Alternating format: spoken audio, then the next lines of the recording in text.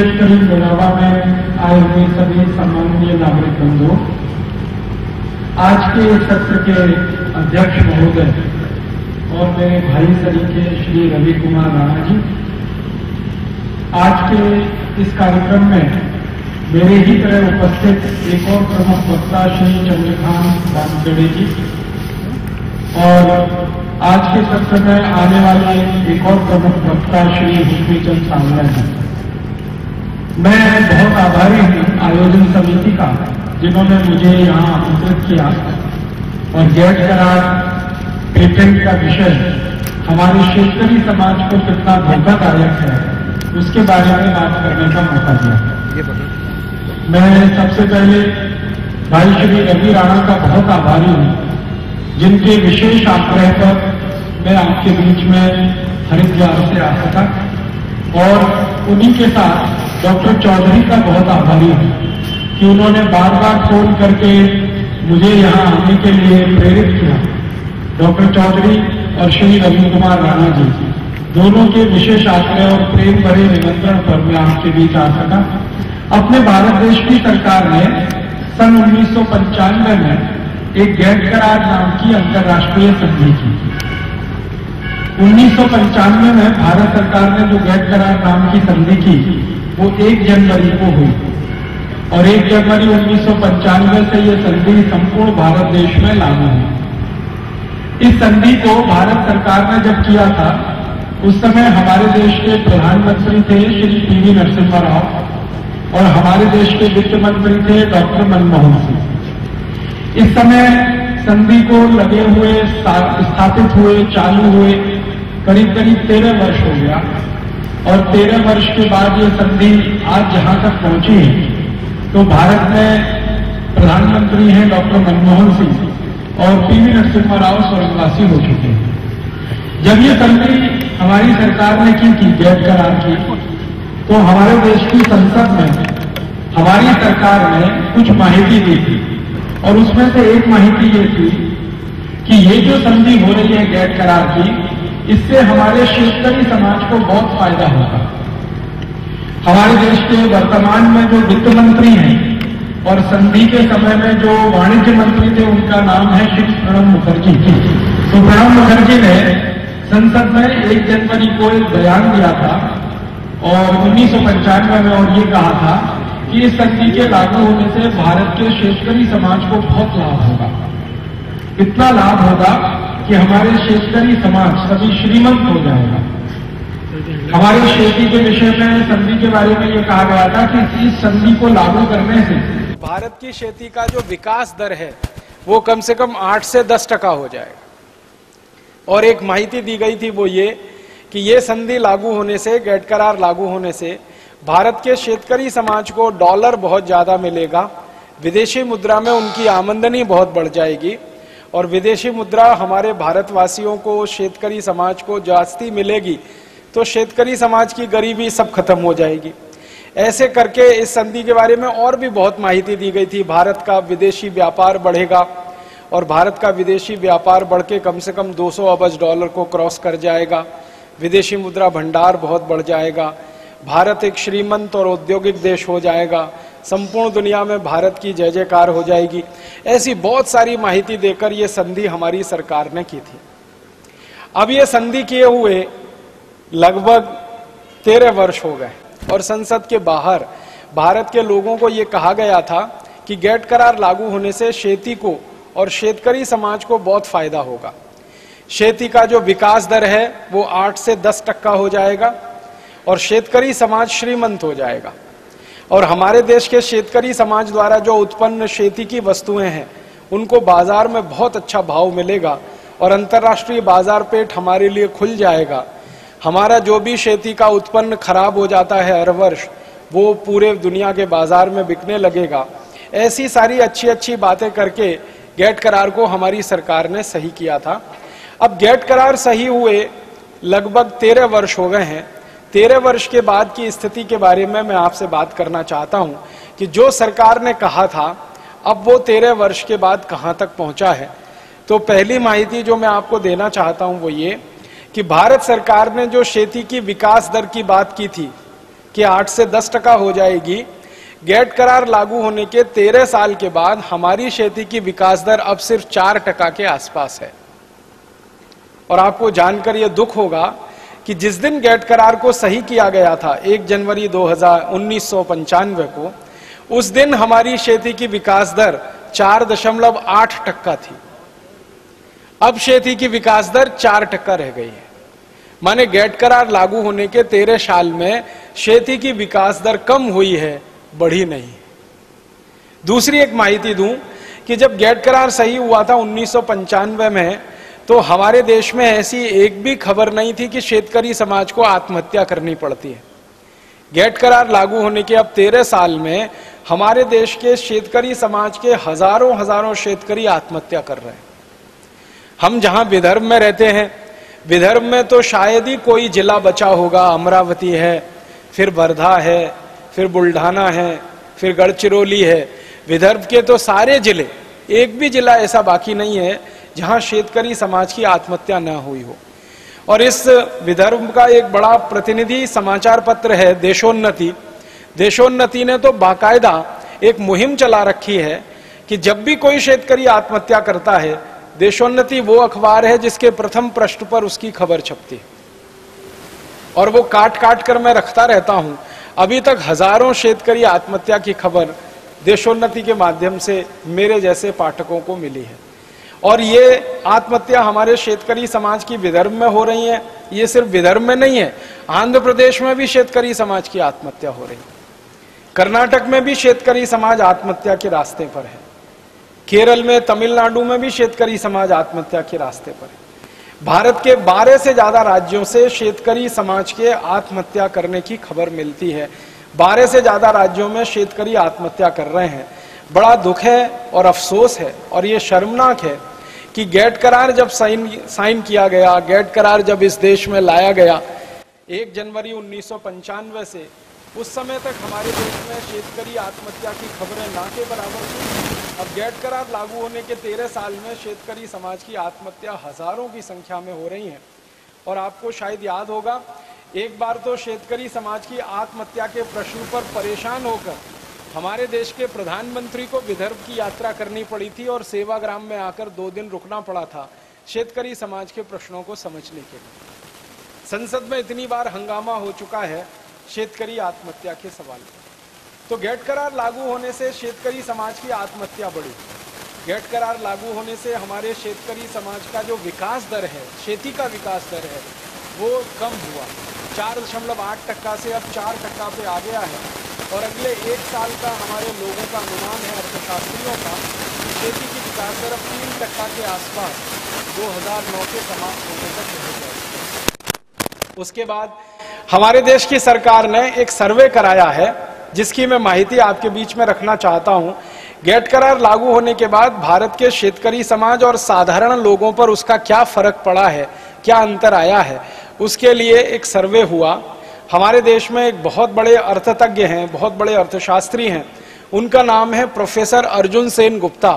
वो हमारे वर्तमान प्रधानमंत्री डॉक्टर मनमोहन सिंह के बहुत खास मित्र हैं और भारत देश में बहुत समय तक ऊँचे पदों पर रहे हैं। जब श्रीमती इंदिरा गांधी इस देश में प्रधानमंत्री हुआ करती थी तो प्रोफेसर अर्जुन सेन गुप्ता लोकसभा के, सॉरी, हमारे देश के योजना आयोग के उपाध्यक्ष हुआ करते थे। योजना आयोग का अध्यक्ष प्रधानमंत्री होता है, उसके ठीक नीचे उपाध्यक्ष। तो प्रोफेसर अर्जुन सेन गुप्ता योजना आयोग के उपाध्यक्ष रह चुके हैं, बहुत बड़े अर्थतज्ञ हैं, बंगाल के बहुत समय तक वित्त मंत्री रहे हैं। ऐसे एक विद्वान व्यक्ति ने भारत सरकार का एक सर्वेक्षण पूरा किया है। 2006 जून में वो सर्वेक्षण छपा है, और उससे ये उन्होंने एक माहिती निकाली है कि गेट करार लागू होने के बाद भारत के साधारण लोगों की स्थिति और विशेष रूप से शेतकरी समाज की स्थिति बहुत खराब हुई है। उन्होंने कुछ आंकड़े दिए हैं। उन्होंने बताया है कि गेट करार लागू होने के लगभग 12 साल में भारत के साधारण लोगों की गरीबी बहुत बढ़ी है। साधारण शेतकरी की गरीबी बहुत बढ़ी है। और उन्होंने गरीबी के आंकड़े दिए हैं।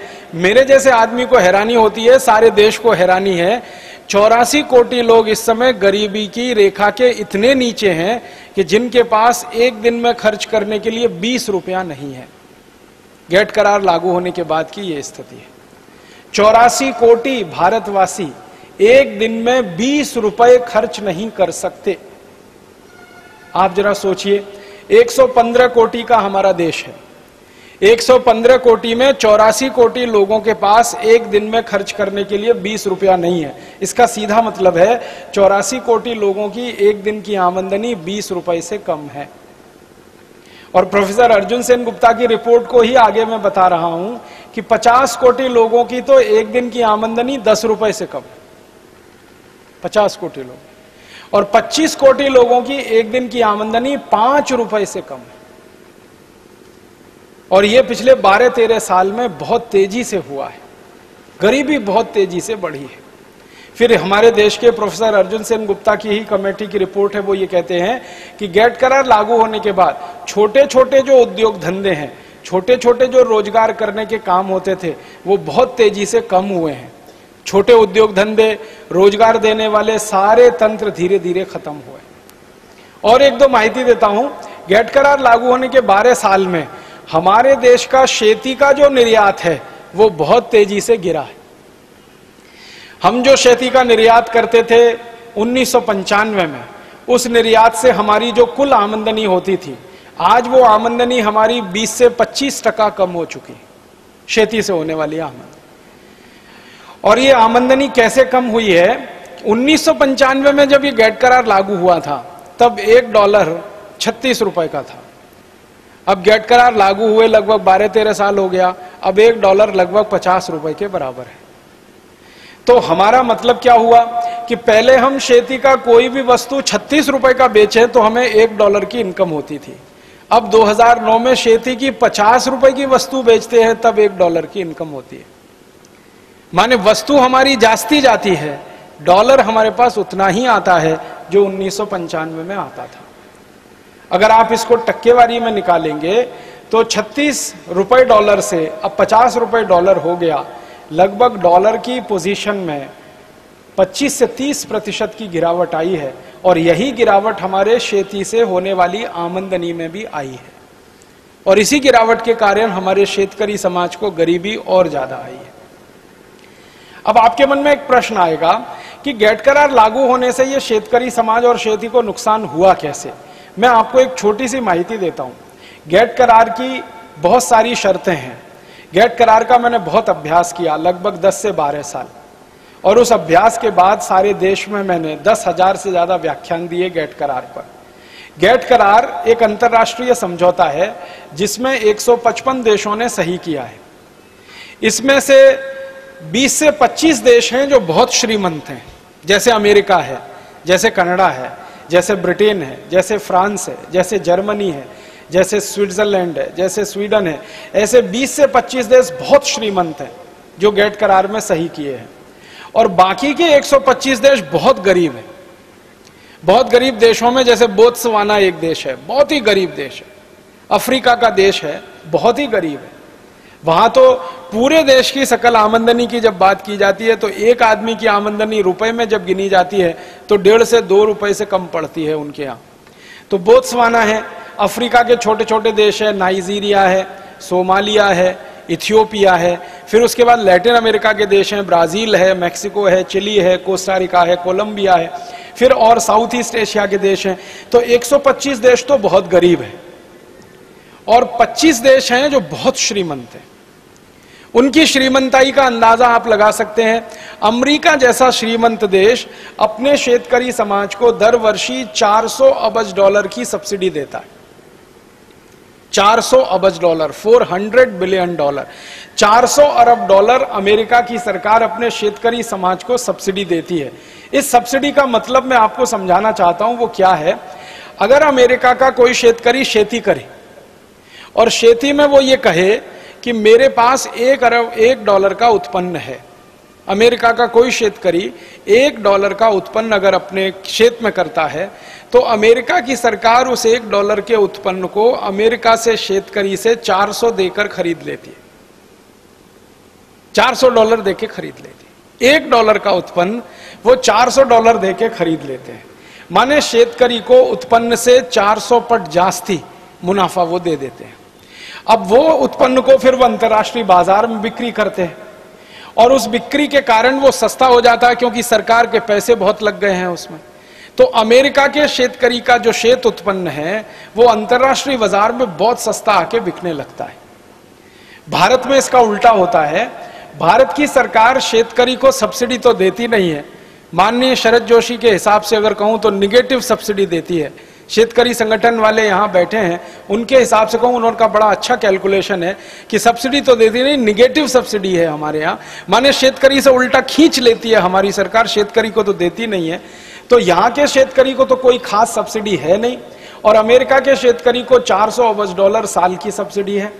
आप सोचेंगे कि इतने असंतुलित जमाने में कैसे शेतकरी खड़ा रहे। हमारा शेतकरी खेती करता है कर्ज लेता है, बैंक से कर्ज लेता है, बैंक के बाद उनकी सहकारी पद संस्थाओं से कर्ज लेता है। सहकारी पद संस्थाओं का कर्ज चौदह पंद्रह टक्का के ब्याज पे पड़ता है, बैंक का कर्ज भी सात से आठ टक्का के ब्याज पे पड़ता है। और अमेरिका का शेतकारी जब कर्ज लेता है बैंक से तो उसको ब्याज ही नहीं देना पड़ता। और उनके यहाँ तो निगेटिव ब्याज होता है। माने सरकार अपनी तरफ़ से शेतकारी को मदद करती है। तो अमेरिका का शेतकरी बिना ब्याज के कर्ज लेके खेती करता है। भारत के शेतकरी को ब्याज भर के खेती करनी पड़ती है, ब्याज देनी पड़ती है अपने कर्जे पर। और भारत का शेतकरी सबसे जास्ती ब्याज देता है कर्जे पर, जो कोई नहीं देता इस देश में। अभी तीन चार साल पहले तक तो भारत के शेतकरी को चौदह टक्का का ब्याज था, हमारे देश में। और सहकारी पद संस्थाओं में तो अठारह से बीस टक्का का ब्याज था। और अगर प्राइवेट मनी लेंडर से वो कर्ज लेता है तो ब्याज का दर सौ टक्का भी हो सकता है, डेढ़ सौ से दो सौ टक्का भी हो सकता है। तो भारत का शेतकरी बहुत ज़्यादा ब्याज लेके, बहुत ज़्यादा ब्याज देके कर्ज लेता है। अमेरिका के शेतकरी को ब्याज ही नहीं भरना पड़ता। भारत का शेतकरी अपनी वस्तुएँ सरकार को बेचता है तो सरकार अंतरराष्ट्रीय बाज़ार भाव से भी कई बार सस्ती कीमत पे खरीदी कर लेती है। वहाँ भी शेतकरी मार खा जाता है। फिर अंतर्राष्ट्रीय बाज़ार में अमेरिका की सरकार अपनी शेतकरी को एक्सपोर्ट सब्सिडी देती है और भारत की सरकार ऐसी कोई सब्सिडी नहीं देती है। तो अंत में निर्णय क्या आता है? अंत में फैसला जहाँ जाता है या बात जहाँ जाके रुकती है वो ये कि भारत के शेतकरी का माल अंतर्राष्ट्रीय बाज़ार में जाते जाते महँगा हो जाता है क्योंकि यहाँ ब्याज ज़्यादा देनी है। सरकार की तरफ़ से एक्सपोर्ट सब्सिडी भी नहीं है और सरकार को शेतकरी समाज की अगर टोटल सब्सिडी है तो वो निगेटिव है। इन तीनों बातों से मिलकर भारत के शेतकरी का कोई भी उत्पन्न अंतर्राष्ट्रीय बाज़ार में महँगा होता है।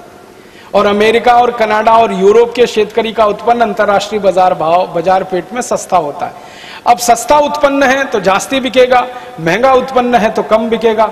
यही चक्कर में भारत भारत के शेतकरी समाज की वस्तुएँ अंतर्राष्ट्रीय बाज़ार में कम बिकती हैं। और फिर अंतर्राष्ट्रीय बाज़ार में जब शेतकरी समाज की वस्तुएँ कम बिकती हैं तो उसका दोनों तरफ़ ऋणात्मक प्रभाव आता है। पहला तो माल कम जाता है दूसरा शेतकरी को आमंदनी कम होती है। इसके विपरीत, दूसरे देशों के शेतकरी को जब ज़्यादा सब्सिडी वाला माल भारत में आके बिकता है, क्योंकि डब्ल्यूटीओ की एग्रीमेंट की शर्तों के अनुसार कोई भी देश के शेती का माल किसी भी देश में जाकर आसानी से बिकेगा। तो अमेरिका का शेत उत्पन्न भारत में आके बिक सकता है, यूरोप का शेत उत्पन्न भारत में आके बिक सकता है। तो अमेरिका और यूरोप के देशों की कापूस आके भारत में बिकना शुरू हो गई है। अब अमेरिका की कापूस और यूरोप की कापूस भारत में आके बिकती है तो उसका बाज़ार भाव पंद्रह सौ रुपए, सोलह सौ रुपए क्विंटल के आसपास होता है। और भारत के शेतकरी समाज की जो कापूस होती है, खराब से खराब कापूस सत्रह सौ, अठारह सौ रुपए क्विंटल की होती है तो भारत की शेतकरी की कापूस महँगी और अमेरिका के शेतकरी की कापूस सस्ती।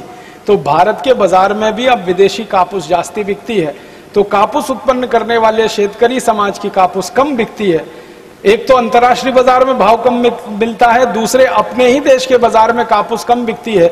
दोनों का ही दुष्परिणाम ये होता है कि कापूस उत्पन्न करने वाले शेतकरी को आमदनी कम होती है और वो आमदनी उसके खर्चे से भी कई बार कम होती है।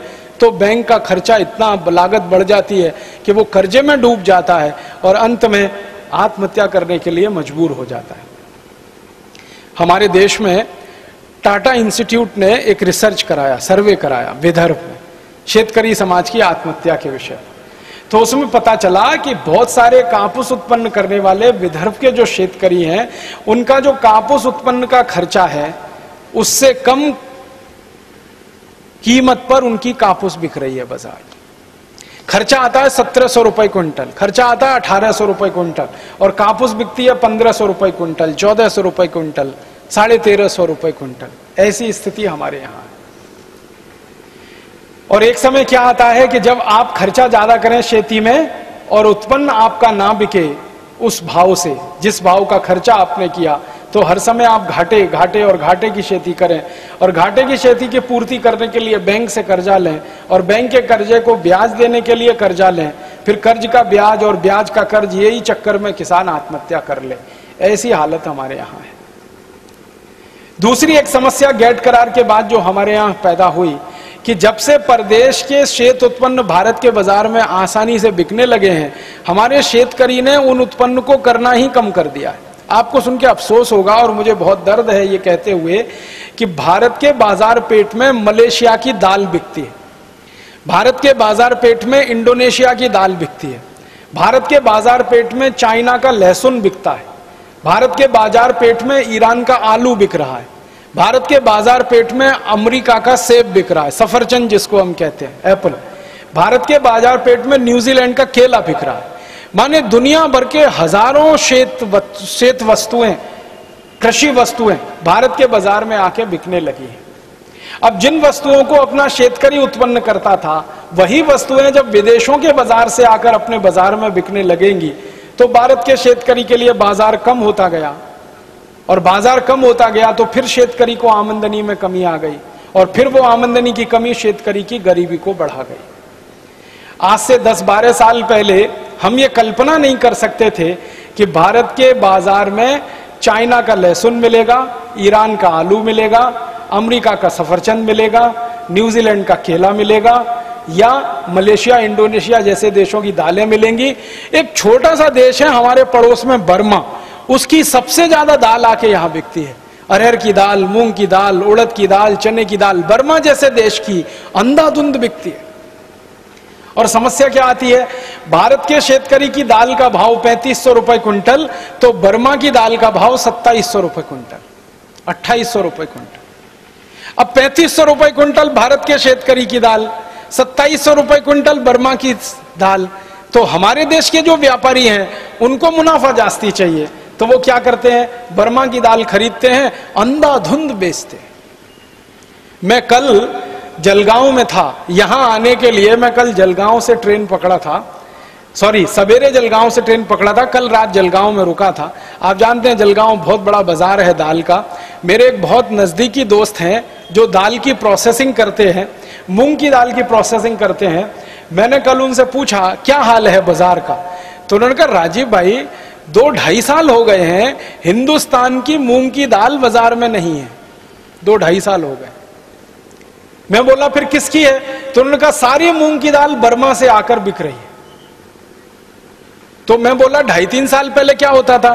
तो वो बोल रहे थे कि ढाई तीन साल पहले उत्तर प्रदेश की दाल आती थी यहाँ पर बिकने के लिए, बिहार की दाल आती थी यहाँ पर बिकने के लिए, बंगाल की दालें आती थी बिकने के लिए, उत्तराखंड की दालें आती थी बिकने के लिए। ढाई तीन साल से दालें ही नहीं नज़र आ रही हैं, हिंदुस्तान की सारी बर्मा की दाल आती है बिकने के लिए। तो मैंने उनसे पूछा कि अगर बर्मा की दाल आ रही है बिकने के लिए जलगांव में तो फिर जलगांव में बाकी भारतवासियों की दाल नहीं बिक रही तो उनकी दाल का क्या हुआ? वो कहीं दूसरी जगह बेच रहे हैं। तो उन्होंने कहा, बेच नहीं रहे हैं, दाल पैदा करना ही बंद कर दिया है उन्होंने। हमारे देश के हज़ारों नहीं लाखों लाखों शेतकरी जो ढाई तीन साल पहले तक दाल पैदा करते थे, उन्होंने ढाई तीन साल से दाल पैदा करना ही कम कर दिया है। और सरकार अब चिंता कर रही है कि दाल का क्षेत्रफल इस देश में घट रहा है, दलहन का क्षेत्रफल इस देश में घट रहा है। अब शेतकरी कहते हैं, हम क्या करें? हमारी दाल को भाव नहीं है। विदेशी दाल सत्ताईस सौ रुपए कुंटल में व्यापारी खरीद लेता, हमारी कौन खरीदेगा पैंतीस सौ रुपए कुंटल में? तो वो कहते हैं, भाव नहीं है तो दाल पैदा करना कम कर दिया। इसी तरह की स्थिति तिलहन के क्षेत्र में है, तिलहन। हिंदुस्तान के शेत बाज़ार में इस समय सबसे ज़्यादा विदेशी तेल बिक रहा है। आप सभी जानते हैं कि एक मलेशिया नाम का छोटा सा देश है, उस देश का एक तेल है, जिसका नाम है पामोलिन तेल। वो पामोलिन तेल सबसे ज़्यादा भारत के बाज़ार में है, सबसे ज़्यादा। एक दो टन नहीं, लाखों टन में है, करोड़ों टन में है पामोलिन तेल जो भारत के शेत बाज़ार में आ गया। अब पामोलिन तेल आके बिकने लगा। अब पामोलिन तेल का भाव भारत में आके पड़ता है 20 से 22 रुपए लीटर। और शेतकरी समाज जो उत्पन्न करके तेल देता है, वो है चालीस रुपए लीटर। अब भारत का शेतकरी सरसों का तेल करे चालीस रुपए लीटर नारियल का तेल करे साठ रुपए लीटर तिलहन का तेल पैदा करे नब्बे रुपए लीटर। तो भारत में 40, 60 और 90 रुपए लीटर के आसपास तेल का भाव है और विदेशी पाम तेल मिलता है 20 से 22 रुपए लीटर। तो सारे भारतवासी जो तेल बनाने वाले उद्योगपति हैं वो सब पामोलिन तेल धड़ल्ले से लाखों लाखों टन में इंपोर्ट कर रहे हैं और उस पामोलिन तेल को भेड़सेड़ करके मिलावट करके आपको बेच रहे हैं। आप बाज़ार से डिब्बाबंद जितना भी तेल लाके खाते हैं, वो सब पाम तेल है। और आपको सुनकर हैरानी होगी, चार पाँच साल पहले तक इस देश में ऐसा कानून था कि पाम तेल किसी भी दूसरे तेल में मिला के नहीं बेचा जा सकता। गेट करार और डब्ल्यूटीओ के दबाव में अब कानून ऐसा है कि पाम तेल किसी भी तेल में मिला के बेचा जा सकता है। अब पाम तेल आ गया, वो वेजिटेबल ऑयल के साथ मिला के बेचा जा रहा है। आप बाज़ार से तेल खरीद के लाते हैं। किसी भी नाम का तेल खरीदो। रिफाइंड तेल के नाम से और डबल रिफाइंड तेल के नाम से बाज़ार में जितना भी तेल मिल रहा है, वो सब पामोलिन तेल है। अब पामोलिन तेल हम खा रहे हैं, शेतकरी समाज खा रहा है। क्यों?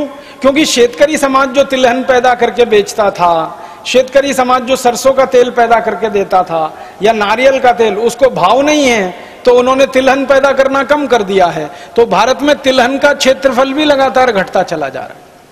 दालें पैदा करना कम कर दिया, तिलहन पैदा करना कम कर दिया, तेल का उत्पन्न इस देश में कम हो गया तो विदेशों से पाम तेल आकर बिकने लगा।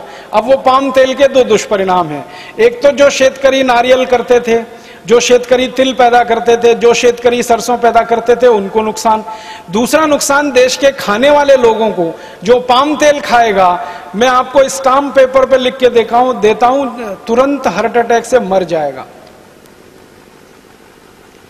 क्योंकि पाम तेल के बारे में सारी दुनिया के जो रिसर्च हुए हैं, वो ये बताते हैं। और ये डॉक्टर चौधरी के लिए मैं कहता हूँ कि पाम तेल में सबसे ज़्यादा ट्रांसफैट्स हैं, सबसे ज़्यादा। और ट्रांस फैट्स वो फैट्स हैं जो कभी भी बॉडी में डिजोल्व नहीं होते। किसी भी टेम्परेचर पर डिजोल्व नहीं होते। और ट्रांस फैट्स जब बॉडी में डिजोल्व नहीं होते तो वो फैट बढ़ता जाता है, बढ़ता जाता है, बढ़ता जाता है। और आपने सुना होगा कि जब फैट ज़रूरत से ज़्यादा बढ़ जाता है, तभी हृदय घात आता है और आदमी मर जाता है। जब फैट ज़रूरत से ज़्यादा बढ़ जाता है, तभी ब्रेन हेमरेज होता है और आदमी पैरालिसिस का शिकार हो जाता है।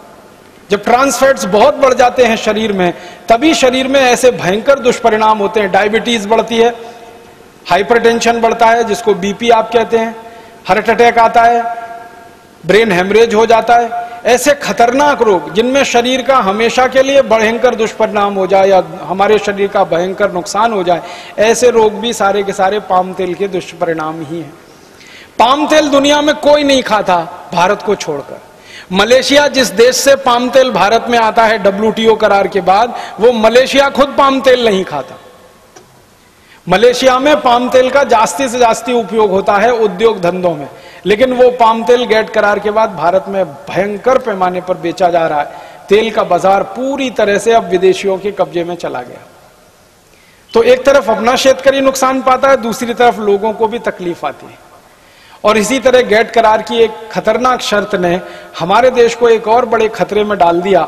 हमारे देश में पहले एक कानून था कि जो बीज होता है, सीड्स जो होता है, वो सीड्स पर किसी का पेटेंट नहीं हो सकता। क्योंकि भारत में ऐसी मान्यता रही है कि ये जो बीज है, वो भगवान की देन है, प्रकृति की देन है। ईश्वर ने बनाया परमपिता परमात्मा ने बनाया, इसको आदमी ने नहीं बनाया। तो इसलिए यह माना जाता है कि बीज जो होता है सीड्स जो होते हैं, वो परमपिता परमात्मा की देन है, ईश्वर की देन है, उस पर मनुष्य का अधिकार नहीं है, इसलिए वो पेटेंट के दायरे के बाहर है। उनको पेटेंटेबल नहीं माना जाता इस देश में। अब गेट करार ने शर्त बदल दी। गेट करार की शर्त यह हो गई है कि सभी बीज अब पेटेंट के दायरे में आ गए पहले हमारे यहाँ बीज होते थे डिस्कवरीज डॉक्टर साहब, चौधरी साहब पहले बीज होते थे सब डिस्कवरीज अब पेटेंटेबिलिटी की दायरी में आने के बाद बीजों को सरकार ने इन्वेंशन जैसा मानना शुरू कर दिया है। और खतरनाक स्थिति यह बना दी है कि डिस्कवरीज और invention both are patentable in our country now on the basis of this GATT agreement ये गेट करार के आधार पर अब डिस्कवरीज भी पेटेंटेबल हैं इन्वेंशन भी पेटेंटेबल हैं। तो सीड और बीज जो पहले पेटेंट के दायरे के बाहर थे, अब वो पेटेंट के दायरे में आ गए। जब बीज पर पेटेंट नहीं होता और बीज पर पेटेंट होता, उसमें फ़र्क क्या होता है, मैं एक उदाहरण से समझाता हूँ। पेटेंट का माने होता है पूरा अधिकार, उत्पादन करने का, बेचने का और मुनाफा कमाने का। मैं आपको एक उदाहरण से समझाता हूँ। मेरे हाथ में एक पेन है। अगर मैं ये कहता हूँ कि ये पेन पर मेरा पेटेंट है, इसका मतलब यह है कि इस पेन को मैं ही बनाऊँगा और मैं ही बेचूँगा और मैं ही मुनाफा कमाऊँगा। दूसरी कोई कंपनी इस पेन को ना बना सकती है, ना बेच सकती है, ना मुनाफा कमा सकती अगर मैं ये कहता हूँ कि इस पेन पर मेरा पेटेंट नहीं है और किसी का भी पेटेंट नहीं है तो इसका मतलब यह है कि इस पेन को कोई भी कंपनी बनाएगी, कोई भी कंपनी बेचेगी, कोई भी कंपनी मुनाफा कमाएगी। अगर इस पेन पर पेटेंट नहीं है तो इस पेन को बनाने वाली हज़ारों कंपनी होंगी। और अगर इस पेन पर पेटेंट है तो इसको बनाने वाली एक ही कंपनी होगी। अब अगर हज़ारों कंपनी ये पेन बनाती है तो आप सोचो, उन हज़ारों कंपनियों में आपस में प्रतियोगिता होती है, कंपटीशन होता है तो ये पेन सस्ते से सस्ता मिलेगा। लेकिन कोई एक कंपनी अगर ये पेन बनाती है तो उसकी अकेले की मोनोपोली है, अकेले का एकाधिकार है। तो वो जितने चाहे उतने रुपए में बेचेगी और जितना चाहेगी उतना मुनाफा इस पेन पर वो कंपनी कमाएगी। अब हमारे यहाँ बीज के क्षेत्र में ऐसा हो गया। पहले ऐसा होता था कि हमारे शेतकरी समाज बीज बनाते थे और बीज से बीज हमारे यहाँ हज़ारों साल से बनता चला आया। हमारे यहाँ परंपरा ऐसी रही है कि एक बार हमने खेती की खेती में बियारण डाला, उस बियारण से उत्पन्न आया। उस उत्पन्न में से थोड़ा बियारण हमने अगले साल की खेती के लिए रख लिया, फिर उसको बियारण के रूप में डाला, फिर उत्पन्न आया, फिर तीसरे साल के लिए हमने बियारण उसमें से निकाल लिया, फिर चौथे साल के लिए। इस तरह से बियारण से बियारण, बीज से बीज बनता था। इसको सीड मल्टीप्लीकेशन कहा जाता है, और यह भारत में हज़ारों साल पुराना है। इससे खेती के हज़ारों बीज विकसित हुए हैं। आपको सुन के हैरानी होगी, भारत दुनिया में अकेला देश है जहाँ की खेती में एक लाख पचास हज़ार से ज़्यादा चावल के बियारण रहे। एक लाख पचास हज़ार। बीज, चावल के। सीड्स, एक लाख पचास है। गेहूँ के हज़ारों किस्म इस देश में रहे। कापुस के सैकड़ों किस्म इस देश में रहे। ऊस के सैकड़ों किस्म इस देश में रहे। तो बीज में विविधता बहुत रही है। और उस विविधता के आधार पर यह बीज बनते रहे और भारत में बिकते रहे। अब हमारे यहाँ क्या हो गया? गेट करार की शर्त के बाद पेटेंट का दायरा आ गया बीज में। अब व्यवस्था ऐसी हो गई है कि कोई एक कंपनी बीज बनाएगी, जितने साल उसका पेटेंट बीज पर रहेगा, दूसरी कोई कंपनी वो बीज नहीं बनाएगी। एक ही कंपनी का बीज है जो आपको खरीदना पड़ेगा और उपयोग करना पड़ेगा। परिणाम क्या हुआ? अमेरिका की बड़ी बड़ी बीज कंपनियाँ आ गई। एक अमेरिका की कंपनी आ गई, उसका नाम है पाइनियर दूसरी अमेरिका की कंपनी आ गई, उसका नाम है सीजेंटा तीसरी अमेरिका की कंपनी आ गई एली लिली चौथी एक यूरोप की कंपनी आ गई यूनिलीवर ऐसी बीसियों बड़ी बड़ी मल्टीनेशनल कंपनी बीज के क्षेत्र में आ गई और उन्होंने भारत के शेतकरी समाज के विकसित किए हुए बीज को अमेरिका और यूरोप में पेटेंट करवाना शुरू कर दिया और उस पेटेंट के आधार पर भारत में धंधा शुरू कर दिया। बहुत दुख होता है और अफसोस होता है मुझे ये कहते हुए कि भारत के छत्तीसगढ़ प्रांत में चावल का बियारण जो हज़ारों साल से चलता आ रहा था, उस पर अभी पेटेंट अमेरिका की सीजेंटा कंपनी का है। इसी तरह से भारत के कापुस के बहुत सारे बियारण जो हज़ारों साल से शेतकरी समाज ने विकसित किए, उस पर अमेरिकन कंपनियों ने पेटेंट एप्लीकेशन दे रखे हैं। तो हमारे बियारण और अब विदेशी कंपनियों के पेटेंट के दायरे में इस पेटेंट के दायरे का मतलब मैंने आपसे कहा कि बीज पर अगर किसी कंपनी का 20 साल का पेटेंट है तो वो कंपनी 20 साल तक उस बीज को बेचेगी और 20 साल तक उस पर मुनाफा वो कमाती रहेगी। भारत का कोई भी शेतकारी अगर उस बीज को बनाकर बेचने की कोशिश करेगा तो वो अमेरिकन कंपनी उस शेतकारी के खिलाफ मुकदमा करेगी और शेतकरी को जेल में डाल दिया जाएगा, उसको हथकड़ियाँ लगाई जाएँगी और उसको नॉन वेलेबल ऑफेंस डिक्लेयर किया जाएगा। अब सोचो मैं हज़ारों साल से एक बियारण बनाता हूँ, अपने खेत में वापरता हूँ। उसी पर अमेरिकन कंपनी ने पेटेंट ले लिया। तो वो बियारण का सारा कंट्रोल अमेरिकन कंपनी के हाथ में चला गया, मेरे हाथ में अब कुछ नहीं रह गया। तो परिणाम क्या होगा? शेतकरी समाज जो बीज से बीज बनाता था और बीज के उत्पादन में स्वावलंबी होता था, अब वो शेतकरी समाज का सारा स्वावलंबन खत्म हो रहा है और वो सारा का सारा बीज अब मल्टीनेशनल कंपनी के कंट्रोल में चला गया। अब उसका परिणाम क्या हुआ? जब मल्टीनेशनल कंपनी के कंट्रोल में बीज चला गया तो बीज का भाव बढ़ गया। जो बीज पहले आपको 40, 50, 60 रुपए किलो मिल जाता था अब उस बीज की कीमत हो गई दस हज़ार रुपए किलो पंद्रह हज़ार रुपए किलो बीस हज़ार रुपए किलो पच्चीस हज़ार रुपए किलो। आप यहाँ पर कोई शेतकारी भाई हैं जो शायद कापूस करते होंगे। आपने कापूस में एक बीज का नाम सुना होगा ना? BT cotton BT cotton BT cotton ये बीटी कॉटन पेटेंटेड सीड है। और इसी तरह से हमारे देश के बाज़ार में आया। परिणाम क्या हुआ कि जो सामान्य रूप से कॉटन का बीज हमें मिलता था, अभी वो 10 पट 15 पट 20 पट 25 पट 30 पट महँगा हो गया। बीटी कॉटन के नाम और अब ये जो मल्टीनेशनल बीज बेचते हैं बीटी कॉटन का तो वो क्या कहते हैं? वो कहते हैं कि कॉटन के बीज में जंतु बहुत लगते हैं, कीट बहुत लगते हैं। हमने बीटी कॉटन ऐसा बीज बनाया जिसमें जंतु ही नहीं लगेगा, कीट ही नहीं लगेगा। मतलब उस बीज को इतना जहरीला कर दिया कि उसमें कोई जंतु और कीट नहीं आएगा।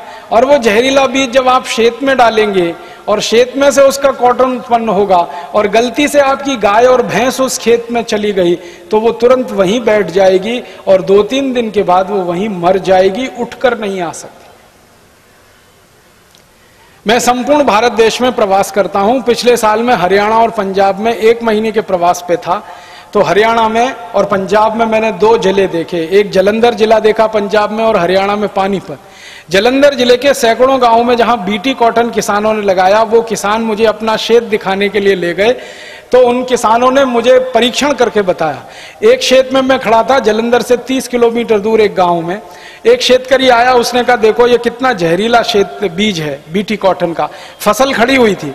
उस शेत में उसने मार मार के ज़बरदस्ती से एक भैंस को अंदर डाल दिया, शेत में। वो जा नहीं रही थी, लेकिन धक्का दे दे के डाल दिया। थोड़ी देर के बाद वो भैंस चलते चलते बैठ गई। फिर वो मुझे भैंस के पास लेके गया। भैंस को बैठने के बाद मैंने देखा, उसकी गर्दन टेढ़ी हो गई। गर्दन टेढ़ी हो गई तो उसने, अब शेतकरी ने कहा, अब ये उठेगी नहीं यहाँ से। मैंने कहा, क्यों? उसने कहा, अब ये गई।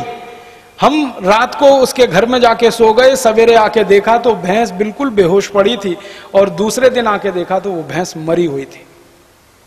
वो शेतकरी ने कहा कि मेरे गाँव में सैकड़ों भैंसें ऐसे मरी हैं, बीटी कॉटन के खेत में भैंस घुस गई, ज़िंदा वापस नहीं लौटी। बीटी कॉटन के खेत में अगर कोई गाय घुस गई, ज़िंदा वापस नहीं लौटी। बकरी घुस गई, ज़िंदा वापस नहीं लौटी। इतना खतरनाक, इतना जहरीला बीज ये बीटी कॉटन के नाम पर सारे देश में भेजा गया। शेतकरी को ये उल्लू बनाया, मूर्ख बनाया कि इससे उत्पन्न जास्ती मिलेगा। लेकिन शेतकरी को यह नहीं बताया कि जो उत्पन्न जास्ती मिलेगा, वो जास्ती खर्चे के बाद मिलेगा। पहले कॉटन उत्पन्न करने का जो खर्चा आता था, उससे खर्चा अब दुप्पट और तीन पट हो गया। तो खर्चा आपका दुप्पट और तीन पट करा दिया। फिर उसके बाद उत्पन्न थोड़ा जास्ती मिला तो आप उस तरह से घाटे में ही रहे, कोई फ़ायदा नहीं हुआ उसमें। और जो जो शेतकरी ने बीटी कॉटन लगाया, आंध्र प्रदेश में, पंजाब में, हरियाणा में, पश्चिमी उत्तर प्रदेश में, गुजरात में, वो सब शेतकरी अभी रो रहे हैं और परेशान हो रहे हैं। एक तो उनके जानवर बीमार हो रहे हैं, दूसरा उनके शेत की मिट्टी पहले से ज़्यादा तकलीफ़ हो गई है। मराठी का एक शब्द इस्तेमाल करूँ तो मिट्टी नापीक होना शुरू हो गई। ये डब्ल्यूटीओ के खतरे हैं और धोखे हैं हमारे देश में। अब कोई भी मल्टीनेशनल कंपनी आएगी, कोई भी बीज लाएगी। अब एक अमेरिकन कंपनी आ रही है, वो बीटी कॉटन की तरह से बीटी ब्रिंजल लेके आ रही है। बीटी बैंगन बैंगन को बीटी बना दिया। अब वो बैंगन बाज़ार में आएगा आप शेतकरी अपने गाँव में शेत में उसे लगाएँगे, माटी आपकी नापीक होगी और वो बैंगन आपने गलती से खा लिया भाजी पाले के रूप में, सब्ज़ी के रूप में तो आपका शरीर भी नापीक हो जाए। दुनिया के जिन देशों में बीटी ब्रिंजल को बैन किया गया, वहाँ के लोगों का कहना है और वैज्ञानिकों का कहना है कि जो जो देश में बीटी ब्रिंजल चला, नपुंसकता सबसे ज़्यादा बढ़ी। लोगों ने जिसने भी खाया, नपुंसकता बढ़ी। अब फिर बीटी टमाटर लाने की बात कर रहे हैं, फिर बीटी पटेटो बने, बीटी बटाटा लाने की बात कर रहे हैं। तो बीटी बना बनाकर सारे भाजी पाले को हिंदुस्तान में लाने की तैयारी बहुत सारे मल्टीनेशनल्स कर रहे हैं। तो एक तरफ़ शेतकरी समाज को तकलीफ़, हमारी माटी को नापीक बनाने की साजिश या षड्यंत्र, और दूसरी तरफ़ शेत का जो उत्पन्न बढ़े, उससे भी ज़्यादा उसका खर्चा बढ़े। हमारे देश में ये चल रहा है। और एक छोटी सी आखिरी बात और कहता हूँ कि डब्ल्यू जब से आया, उन्नीस सौ पंचानवे से, तब से मैंने भाव देखना शुरू किया। एक एक साल का भाव मैंने इकट्ठा किया। डब्ल्यू उन्नीस में एक जनवरी से शुरू हुआ। हमारे देश में यूरिया और डीएपी का भाव बढ़ना शुरू हो गया डब्ल्यूटीओ के बाद। उन्नीस सौ पंचानवे के आंकड़े बताता हूँ। उन्नीस सौ चौरानवे दिसंबर तक हमारे देश में 50 किलो यूरिया 50 किलो यूरिया था सत्तर रुपए का। Seventy rupees per bag 50 kilo का यूरिया का बैग सत्तर रुपए का। डब्ल्यू आने के बाद हमारे देश की सरकार ने डायरेक्ट और इनडायरेक्ट दोनों सब्सिडीज को कट करने का जो प्रयास किया, शेतकरी समाज की यूरिया डीएपी की सब्सिडीज भी कम हुई शेतकरी समाज के लिए। तो अब वही यूरिया सत्तर रुपए का जो पचास किलो था, अब दो सौ सत्तर, दो सौ पिछहत्तर रुपए का पचास किलो है 2009 में। तो यूरिया का भाव बढ़ गया। कम से कम कम से कम अगर आप सत्तर रुपए का 140 में लो, दो पट हो। और सत्तर रुपए का आप अगर 180 में लेते हो, तीन पट हो गया। सत्तर रुपए का अगर आप 250, 260, 270 में लेते हो चार पट तो चार पट यूरिया का भाव बढ़ा दिया सरकार ने डब्ल्यू की कंडीशन फिर डीएपी का भाव उससे भी ज़्यादा हो गया। डीएपी तो करीब आठ से नौ पट महँगा हो गया। जब डब्ल्यू लागू हुआ था हमारे देश में तो एक लीटर डीजल था सत्रह रुपए पैंतीस पैसे का। अब एक लीटर डीजल है पैंतीस रुपए का। माने डीजल का भाव दुप्पट हो गया डब्ल्यू के आने के बाद। अब शेतकरी जो सबसे ज़्यादा वापरता है वो यूरिया। दूसरे नंबर पर डीएपी तीसरे नंबर पर डीजल। तो यूरिया डीएपी डीजल जो शेतकरी का सबसे जास्ती खर्चा है, वही चार पट, आठ से दस पट और दुपट महँगा हो तो शेतकरी का खर्चा भी चार पट, आठ से दस पट महँगा हो गया। खर्चा जास्ती हो गया, महँगा जास्ती हो गई खेती यूरिया डीएपी महँगा हो गया, डीजल महँगा हो गया तो खेती का उत्पन्न खर्चा ज़्यादा हो गया, लागत खर्च ज़्यादा हो गया कॉस्ट ऑफ़ प्रोडक्शन ज़्यादा हो गया। और अंतर्राष्ट्रीय बाज़ार से सस्ती खेती वस्तुएँ आने लगी। मैंने आपसे कहा डब्ल्यू की कंडीशन पहले ऐसी थी। मैंने पहले डब्ल्यू नहीं था तो बाहर से आने वाले शेत उत्पन्न पर हम टैक्स लगा के उसको महँगा बनाते थे। अब डब्ल्यू की शर्तों के बाद बाहर से आने वाले खेती के उत्पन्न पर जास्ती टैक्स नहीं लगा सकते। वो जास्ती महँगा नहीं हो सकता, वो सस्ता आके बाज़ार में बिकता है। तो भारत के शेतकरी का शेत उत्पन्न महँगा, और बाहर से आने वाले शेतकरी अमेरिका, यूरोप के शेतकरी का शेत उत्पन्न सस्ता। तो सस्ता शेत उत्पन्न भारत के बाज़ार में आके ज़्यादा बिकेगा। तो शेतकारी अपने का उत्पन्न कम बिकेगा तो वही उत्पन्न कम बिकने से खेती का जो लागत खेती का जो विकास दर है, जो डब्ल्यू आने के पहले चार दशमलव आठ टक्का था, अब वो विकास दर चार टक्के से भी कम है। 2009 तक आते आते वो तीन टक्का रह जाएगा। माने शेतकरी समाज और ज़्यादा गरीब गरीब गरीब और गरीब होता चला जाएगा तो हमारी सरकार तो डब्ल्यू की नीतियों में ऐसी फंसी है, जो शेतकरी समाज को ज़्यादा गरीब बना रही है और शेतकरी समाज की तकलीफें ज़्यादा बढ़ा रही है। तो आप बोलेंगे, अब क्या करना चाहिए?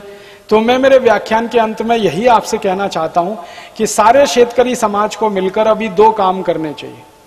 पहला काम तो यह करना चाहिए कि जो सरकारों ने डब्ल्यू एग्रीमेंट किया, जिन सरकारों ने डब्ल्यू की शर्तों को हमारे शेतकारी समाज पर लाद दिया, ऐसी सरकारों को सबक सिखाना चाहिए। ऐसे नेताओं को, ऐसे पुढ़ारियों को सबक सिखाना चाहिए।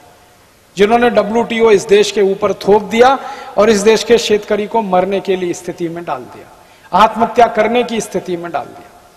ये सोचिए आप कितनी विडंबना है कि लोगों का पेट भरने वाला शेतकरी खुद भूखा रह जाए और आत्महत्या करने के लिए मजबूर हो जाए। सारे देश का पेट भरने वाला शेतकरी खुद भूखा रहे और आत्महत्या करने के लिए मजबूर हो, बेवश हो, ये कितनी बड़ी विडंबना है जो इस देश की आज़ादी के 60 साल में हमको देखनी पड़ रही है।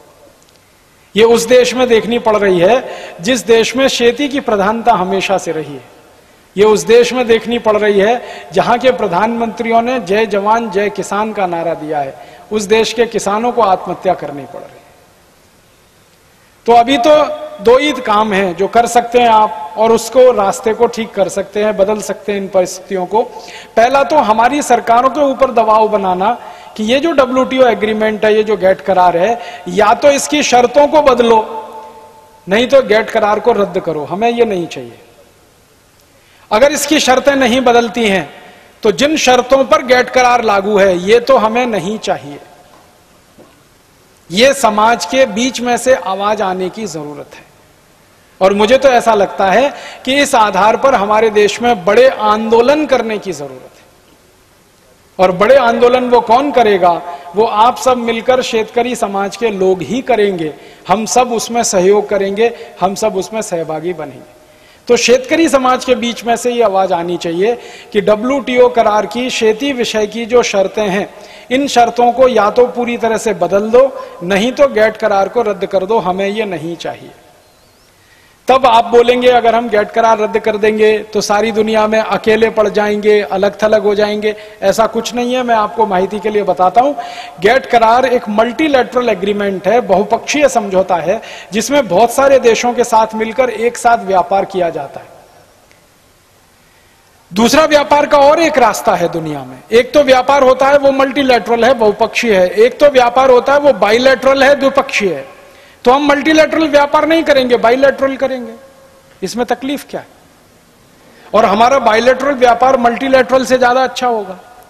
द्विपक्षीय समझौते करेंगे एक एक देश के साथ समझौते करके व्यापार करेंगे। कैसे होगा? मान लीजिए हमारे देश में बहुत जास्ती मात्रा में चाय उत्पन्न होती है, कॉफ़ी उत्पन्न होती है। और यूरोप के देशों में चाय और कॉफ़ी की बहुत ज़्यादा ज़रूरत है, लेकिन उनके यहाँ उत्पन्न नहीं होती है। तो हमारी चाय कॉफ़ी का व्यापार हम यूरोप के देशों के साथ द्विपक्षीय स्तर पर करेंगे और उसमें हमारा रेट फिक्स करेंगे, ना कि उनके रेट पर बेचेंगे। क्योंकि हमें गरज नहीं है, उन्हें गरज है हमारी चाय और कॉफ़ी की। अगर यूरोप के देशों को भारत की चाय कॉफ़ी पीने को नहीं मिलेगी तो वो मर जाएँगे, क्योंकि ठंडी इतनी ज़्यादा है उस देश में। कि उनका ब्लड प्रेशर इतना लो हो जाता है और उसमें मृत्यु की संभावना सबसे तीव्र हो जाती है। इसी तरह से और एक उदाहरण देता हूँ। तिलहन हमारे देश में सबसे अच्छी क्वालिटी का है पूरी दुनिया में। इतना अच्छा तिल जो भारत में होता, कहीं नहीं होता। और सारे अरब देशों में तिल का तेल खाने की परंपरा है। तिल का तेल खाते हैं, खजूर का तेल खाते हैं, नारियल का तेल खाते हैं। तो जिन देशों को तिल का तेल चाहिए और हमारे पास तिल बहुत अधिक मात्रा में हो तो हम भाव तय करके, द्विपक्षीय आधार पर समझौता करके वो तेल बेचेंगे। उसमें भाव भी अच्छा मिलेगा और हमारी इज़्ज़त और सम्मान भी ज़्यादा बढ़ेगा दुनिया। तो मेरा यह कहना है कि मल्टीलेटरल व्यापार का जो समझौता डब्ल्यूटीओ है, इसको खत्म करके बाइलेटरल तरीके से, द्विपक्षीय तरीके से हम व्यापार के समझौते कर सकते हैं और एक एक देश के साथ एक एक समझौता करके हमारी वस्तुओं को ज़्यादा अच्छे भाव पर बेच सकते हैं। तो हमको डब्ल्यू की तो वैसे कोई ज़रूरत नहीं है, हम द्विपक्षीय आधार पर व्यापार दुनिया में कर सकते हैं। और दूसरी जानकारी, अगर डब्ल्यू हम खत्म करा देते हैं तो भारत के बाज़ार में क्या फ़ायदा होगा? बर्मा की दाल बिकना बंद हो जाएगी, भारत के बाज़ार में। अमेरिका का सेब बिकना बंद हो जाएगा, न्यूजीलैंड का केला बिकना बंद हो जाएगा, अमेरिका की कापूस आना बिकना बंद हो जाएगी यहाँ पर। कनाडा का गेहूँ आकर बिकना बंद हो जाएगा, ऑस्ट्रेलिया का गेहूँ आकर नहीं बिकेगा। माने परदेशी खेती वस्तुएँ भारत के बाज़ार में बिकना कम हो जाएँगी। परिणाम क्या होगा? भारत के शेत बाज़ार में भारत की स्वदेशी वस्तुओं की डिमांड बढ़ जाएगी और जैसे ही स्वदेशी वस्तुओं की डिमांड बढ़ेगी तो स्वदेशी वस्तुओं की कीमतें बढ़ जाएँगी और शेतकारी समाज को जास्ती लाभ मिलेगा। मैंने एक सीधा सा हिसाब निकाला कि आज अगर हम डब्ल्यू को कैंसिल कर दें और विदेश का कापूस भारत के खेती में आकर बिकना बंद हो जाए, भारत के शेत बाज़ार में। भारत के मार्केट में विदेशी कापूस ना बिके तो अभी विदर्भ के शेतकरी का कापूस पाँच से सवा पाँच हज़ार रुपए क्विंटल का भाव आराम से हो जाएगा। अभी, आज की तारीख। विदेशी कापूस जैसे ही खत्म होगा भारत के बाज़ार से, देशी कापूस को पाँच सवा पाँच हज़ार रुपए क्विंटल का भाव सीधे हो जाता है। विदेशी गेहूँ अगर भारत के बाज़ार में आकर बिकना बंद हो जाए तो देशी गेहूँ को भाव वैसे ही दो हज़ार रुपए क्विंटल हो जाता है, जो अभी ग्यारह सौ रुपए क्विंटल भी नहीं। विदेशी चावल अगर आकर बिकना बंद हो जाए, फिलीपींस का चावल यहाँ ना बिके तो भारत के चावल का भाव 1400 से 1500 रुपए क्विंटल सीधे हो जाता है, दुप्पट भाव हो जाता है। गेहूँ का भाव दुप्पट, चावल का भाव दुप्पट, आपके कापूस का भाव दुप्पट, आपका जो केला है उसका भाव दुप्पट, सफरचंद का भाव दुप्पट, आपकी जो भी शेत वस्तुएँ हैं वो दुप्पट से तीन पट भाव पर तो आज हो जाएँगी। अगर विदेश से आने वाली वस्तुओं को बंद कर दिया जाए इस देश में। और विदेशी शेत वस्तुओं को जैसे ही हम बंद करेंगे तो भारत के शेतकरी की वस्तुएँ महँगी हो जाएँगी, वो एक बात होगी। और दूसरी बात ये होगी कि भारत के शेतकरी को जब ज़्यादा भाव मिलने लगेगा तो वो खेती अपने आप उस दिशा में करना ज़्यादा शुरू करेगा। अगर कापूस को पाँच हज़ार रुपए क्विंटल भाव हो जाए, अपने आप कापूस उत्पन्न करने का क्षेत्रफल बढ़ जाएगा इस देश में। अगर गेहूँ को भाव दो ढाई हज़ार रुपए क्विंटल हो जाए, गेहूँ ज़्यादा करना अपने आप शुरू कर देंगे शेतकरी अगर चावल को भाव ज़्यादा हो गया तो चावल ज़्यादा अपने आप ही शुरू हो जाएगा। तिलहन को भाव ज़्यादा हो जाए, दलहन को भाव ज़्यादा हो जाए, दलहन का क्षेत्रफल बढ़ता है, तिलहन का क्षेत्रफल बढ़ता है। ये सरकार ने कई बार स्टडी कराई है कि एक से दो प्रतिशत भाव में जब बढ़ोतरी होती है तो एक कोटी हेक्टेयर ज़्यादा खेती होने लगती है। हमारे कृषि मंत्रालय का एक रिसर्च है, एक सर्वे है कि एक से दो पट भाव बढ़ जाए। सॉरी एक से दो प्रतिशत भाव में बढ़ोतरी हो जाए, एक कोटि हेक्टेयर खेती ज़्यादा होने लगती। अगर आठ से दस प्रतिशत भाव ज़्यादा हो जाए तो आप सोचो कितने कोटि हेक्टेयर जास्ती खेती इस देश में होने लगती। तो खेती जास्ती होती है, क्षेत्रफल ज़्यादा होता है खेती का, और ज़्यादा लोगों को उसमें रोज़गार मिलता है। और एक तीसरा फ़ायदा होता है, अगर डब्ल्यू की शर्तों को हम रद्द कर दें और हिंदुस्तान की सरकार ये तय करे और हम उनको दबाव डालें कि उन्नीस सौ पंचानवे में जब आपने डब्ल्यूटीओ लागू किया था, उस समय शेती का जो लागत खर्च था, उसी लागत खर्च पर शेती को ले जाकर फिक्स कर दो। तो यूरिया आपको फिर से सत्तर रुपए का पचास किलो मिलता है।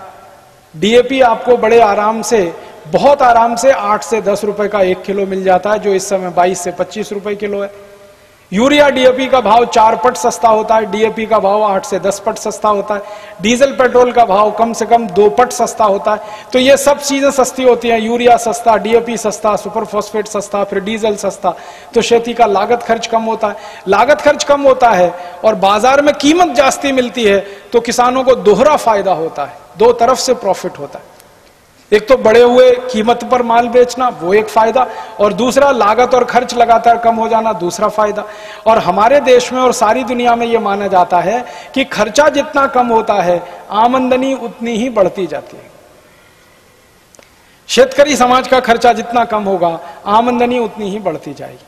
तो डब्ल्यू करार को रद्द करने से इतने सारे फ़ायदे हमारे शेतकरी समाज को होते हैं।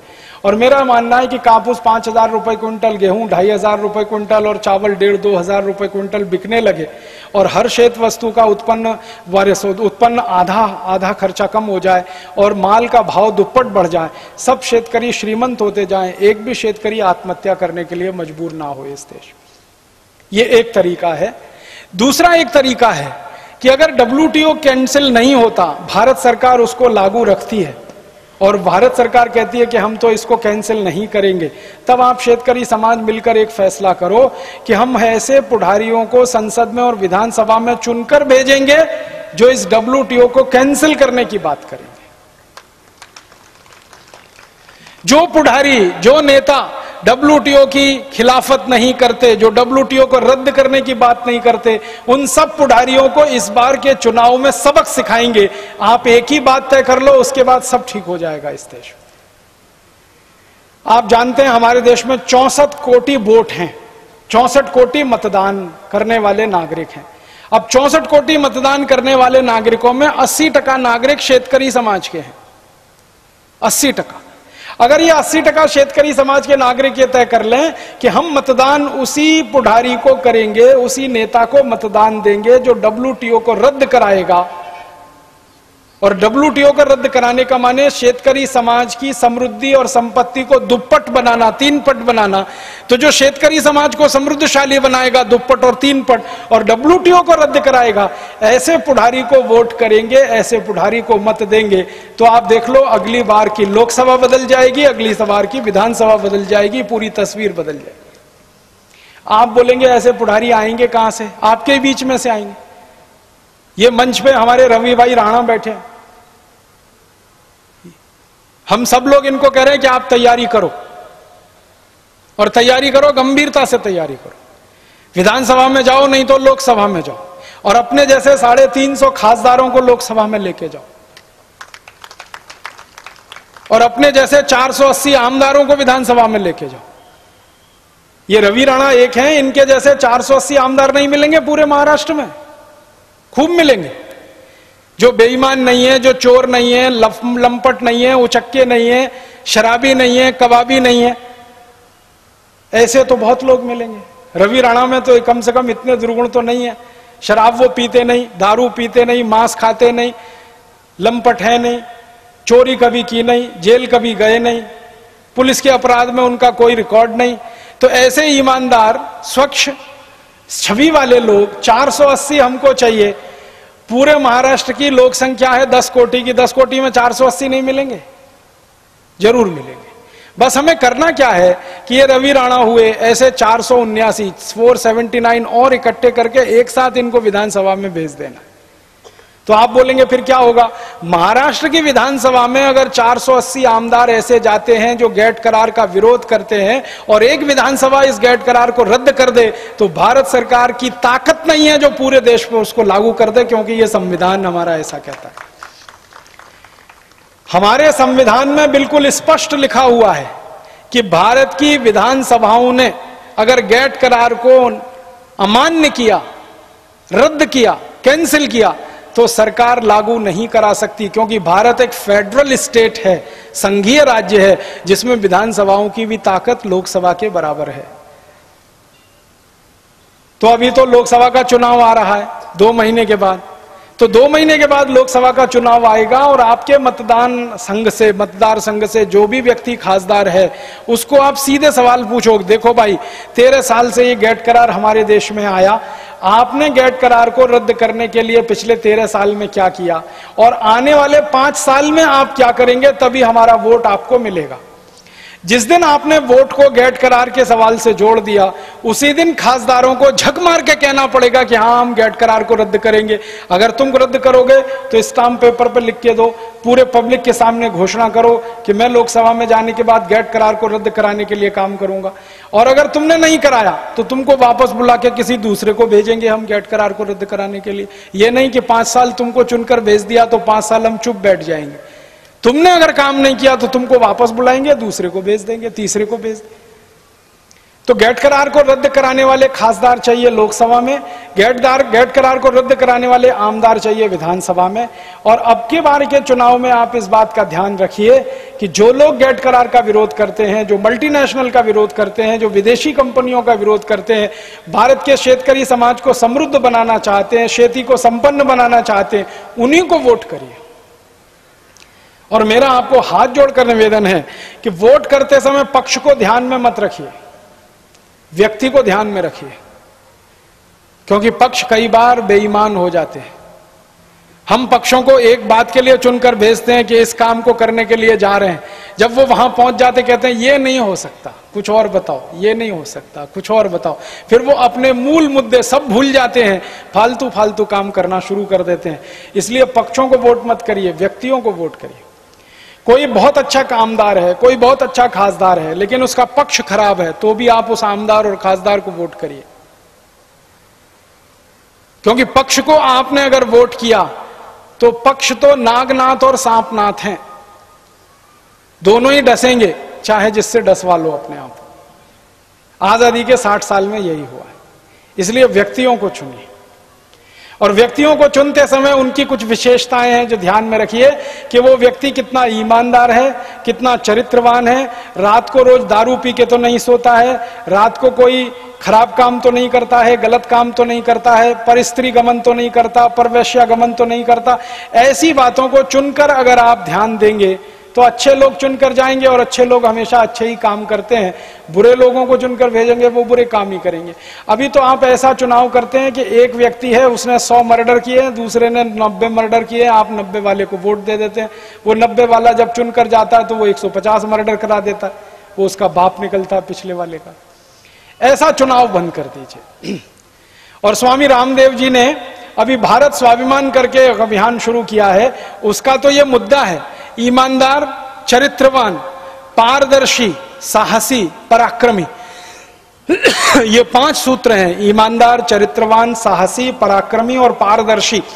ऐसे गुण जिसमें भी हैं, वो सबको चुनवाकर संसद में भेजना, लोकसभा में, विधानसभा में भेजना, इसके लिए भारत स्वाभिमान मंच बना दिया, अभियान शुरू कर दिया उन्होंने। मैं उसी अभियान का एक कार्य करने वाला व्यक्ति हूँ। हमारे रवि भाई राणा भी उस अभियान के साथ जुड़े हुए हैं। यहाँ बहुत सारे जो पतंजलि योग समिति के कार्यकर्ता बैठे होंगे, वो भी उस अभियान के अंग हैं। तो इस अभियान को लेकर दो साल स्वामी रामदेव जी और मैं भारत के 600 जिलों का प्रवास करने जा रहे हैं। और 600 जिलों का प्रवास करके हर जगह एक ही बात कहने जा रहे हैं कि आपके मतदान के समय ध्यान दीजिए वोट देते समय ऐसे व्यक्तियों को जो विदेशी कंपनियों का बहिष्कार करते हो गेट करार को रद्द कराने की बात करते हो, अंग्रेज़ों के जमाने के बनाए हुए कानूनों को खत्म कराने की बात करते हो, ऐसे 15-20 मुद्दे तय हुए हैं, उसके आधार पर आप वोट करिए। और ये बात कहने के लिए स्वयं रामदेव जी जाने वाले हैं 600 जिलों में, मैं जाने वाला हूँ, और ऐसे दूसरे भी साधु संत जाने वाले हैं 600 जिलों आपको सुनकर हैरानी होगी श्री श्री रविशंकर जी, उनका पत्र आ गया कि हम आपके साथ इस पूरे अभियान में हैं। हमारे देश के महामंडलेश्वर, बहुत बहुत बहुत पूजनीय सत्यमित्रानंद जी गिरी, वो परसों हमारे साथ थे हरिद्वार में। उनका पूरा आशीर्वाद है कि अगर ये काम के लिए आप निकलते हैं तो मैं भी आपके साथ। मुरारी बापू जी का संपूर्ण आशीर्वाद इस बात के लिए। पंद्रह बड़े साधु संत, जिनके एक एक के एक एक कोटि से ज़्यादा फॉलोअर हैं। एक एक कोटि से ज़्यादा जिनके फॉलोअर ऐसे पंद्रह संत एक साथ भारत के 600 जिलों का प्रवास शुरू करने जा रहे हैं अगले दो साल। और यह प्रवास इसी बात के लिए है कि हमको गेट करार नहीं चाहिए मल्टीनेशनल नहीं चाहिए डब्ल्यूटीओ नहीं चाहिए, विदेशीकरण जो हो रहा है इस देश का वो नहीं चाहिए कर्ज बाजारी जो बढ़ रही है शेतकरी समाज की और देश की वो नहीं चाहिए। तो इन सब बातों को लेकर जब साधु संत निकल रहे हैं समाज में तो आप जान लीजिए, परिवर्तन तो अब होगा इस देश में। क्योंकि जब भी भारत का सन्यासी और साधु निकला है तो उसने देश और समाज को बदला है। ये हमारा हज़ारों साल का इतिहास है, आप कभी भी उठा के देख सकते साधु समाज, संत समाज जब भी निकला है, समाज उसके पीछे चला है। और हमारे यहाँ की राजनीतिक व्यवस्था तो हमेशा संत समाज के नीचे रही है। संत समाज ऊपर रहा है, राज्य व्यवस्था हमेशा उसके नीचे रही है। संत समाज के आशीर्वाद से हमारे यहाँ राजा काम करते रहे हैं। आपको मालूम है, भारत के महान महान राजा चंद्रगुप्त विक्रमादित्य, हर्षवर्धन, सम्राट अशोक, समुद्रगुप्त, ये जितने बड़े महान महान चक्रवर्ती सम्राट हुए, इन सबका नियम था कि दरबार में अगर कोई साधु आ गया तो ये राजा अपना सिंहासन छोड़ता था और साधु उस सिंहासन पर बैठता था। मतलब साधु के लिए, सन्यासी के लिए सिंहासन खाली है, राजा उसके चरणों में बैठता था। इसका मतलब यह है कि साधु समाज, संत समाज और धर्म सत्ता हमारी राज्य सत्ता को निर्देशित करती थी। तो जब तक भारत की धर्म सत्ता, राज्य सत्ता को निर्देशित करती थी, तब तक भारत सोने की चिड़िया था। चंद्रगुप्त विक्रमादित्य का समय देख लो, भारत सोने की चिड़िया था। समुद्रगुप्त का समय देख लो, भारत सोने की चिड़िया था। हर्षवर्धन का समय देख लो, भारत सोने की चिड़िया था। सम्राट अशोक का समय देख लो, भारत सोने की चिड़िया था। जब जब धर्म सत्ता ऊपर रही है, राज्य सत्ता नीचे रही है, भारत सोने की चिड़िया रहा। लेकिन जब विदेशियों का हमला हुआ और विदेशियों ने आकर यहाँ पर साम्राज्य स्थापित कर लिया तो धर्म सत्ता पीछे चली गई, राज्य सत्ता ऊपर आ गई, तब से भारत नीचे रसातल में गिरता ही जा रहा है, गिरता ही जा रहा है, गिरता ही जा रहा है, गिरता ही जा रहा है। और इतना गिर गया है कि अब उठने के लिए लोगों को भरोसा खत्म हो गया है कि ये देश फिर से उठ सकता है। गरीबी बढ़ी, व्यविचार बढ़ा, पापाचार बढ़ा, अत्याचार बढ़ा, भ्रष्टाचार बढ़ा, जब से हमारा समाज पीछे हो गया, राज्य सत्ता आगे हो गई, धर्म सत्ता नीचे आ गई, राज्य सत्ता ऊपर हो गई, सारी गड़बड़ी हो गई। अब फिर से धर्म सत्ता आगे आ रही है। स्वामी रामदेव जी धर्म सत्ता के प्रतीक हैं। स्वामी सत्यमित्रानंद गिरी जी धर्म सत्ता के प्रतीक है। महामंडलेश्वर जितने इस देश में धर्म सत्ता के प्रतीक है। हमारे देश के जितने भी ऐसे महान महान मुरारी बापू धर्म सत्ता के प्रतीक है, आसाराम बापू धर्म सत्ता के प्रतीक है तो ये धर्म सत्ता के प्रतीक ऐसे बड़े साधु, पुरुष, सन्यासी सब एक साथ इकट्ठे हो रहे हैं। तीन अप्रैल को हरिद्वार में एक बड़ा सम्मेलन होने जा रहा है। उसमें घोषणा होने जा रही है। उस सम्मेलन के बाद ये घोषणा होगी और सारे देश में इन साधु संतों के प्रवास शुरू हो जाएँगे।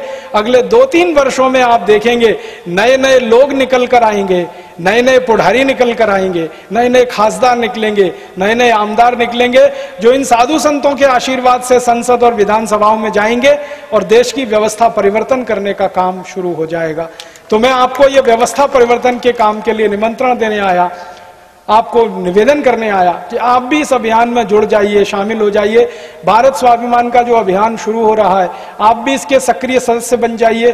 इसके सदस्य बनने के लिए जो भी माहिती है, वो आपको यहाँ पतंजलि योग समिति के लोग दे देंगे, रवि भाई राणा भी आपको माहिती दे देंगे। उसके माहिती पत्रक हैं, वो आप ले जाकर ध्यान से पढ़ लीजिए। माहिती पत्रक भरकर आप उनको जमा कर दीजिए। जमा करके आप भी हमारे साथ सदस्य हो जाएँगे, फिर आप भी इस ज़िम्मेदारी में आ जाएँगे और आप भी इस काम को आगे बढ़ाने के लिए हमारे साथ कंधे से कंधा मिलाकर इस लड़ाई को लड़ेंगे और इस लड़ाई को जीतेंगे। मैं ये कहते हुए मेरा व्याख्यान समाप्त कर रहा हूँ कि इस डब्ल्यूटीओ के खिलाफ की लड़ाई को मल्टीनेशनल के खिलाफ की लड़ाई को हम लड़ेंगे और जीतेंगे। लड़ेंगे और जीतेंगे। लड़ेंगे और जीतेंगे। आप सभी का आभार। बहुत धन्यवाद।